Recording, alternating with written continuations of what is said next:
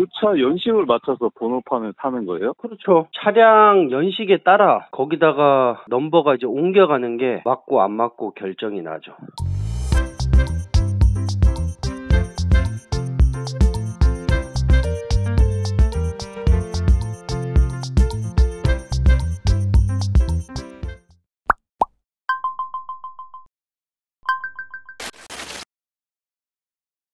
트럭입니다. 아, 예, 사장님 뭐 하나 여쭤보려고요. 네네. 중고 냉탑 1톤이 있으면 예. 그 차 연식을 맞춰서 번호판을 다는 거예요? 그렇죠. 차량 연식에 따라 거기다가 넘버가 이제 옮겨가는 게 맞고 안 맞고 결정이 나죠. 아, 그러면 현재 그 차량보다 낮은 연식에 달린 넘버를 인수받을 수가 있는데 아, 낮은 넘버 그거는 낮은 내가 정하는 게 아니라 예. 반대로 저희 같이 매매하는 업체들이 정해 주는 거라 그걸 차를 바꿀 수는 없잖아요. 차는 정해진 거잖아요. 예, 예. 차는 몇, 1톤에 몇 년식이에요? 지금 회사에 한 4대가 매매하려고 하고 있는데 네 대가 구매한다고요? 그러니까 집을 정리하고 예. 아, 임대 남바 현재 달고 있는데 네 대가 나와서 용달을 단다는 얘기예요? 예, 그럴 것 같은데 이게 연식이- 다 연식이 다른데 연식이 몇 년 몇 년인데요, 대충. 엄청 오래된 거는 뭐 10년 차, 뭐 7년 차, 뭐 그러니까 연식으로 따지면은 12년식도 있고. 자, 정해드릴게요. 남바값이 싸면 부대 비용이 좀 더 나오고, 음. 남바값이 비싸면 부대 비용 이 좀 적게 나오고, 아. 그렇게 계산하면 돼요. 그러면 연식 때문에 뭐 남바가 없고 막못 달고 이런 건건 아- 아니에요. 예. 그런 건 아니겠네요. 예, 아, 알겠습니다. 사장님 연락드릴게요. 예, 지역은 어디신데요? 지역 여기 경기도 김포요. 아, 길포요? 사장들이 집은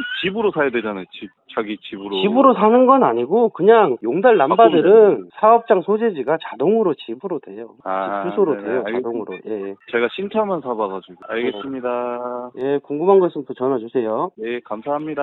네.